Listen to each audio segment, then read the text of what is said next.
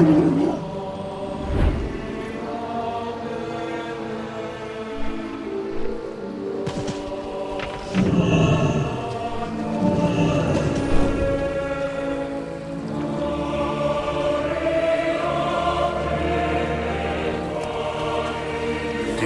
Brunnen der Ewigkeit.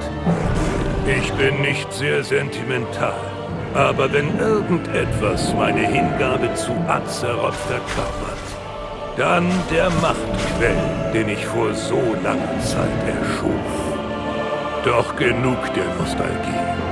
Der Kristall, den ich euch überlassen habe, enthält nicht zwei, sondern drei Nachrichten. Die letzte ist für euch, Champion.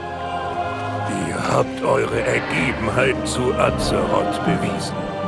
Eure Hingabe, eure Aufopferung gleicht der meinen.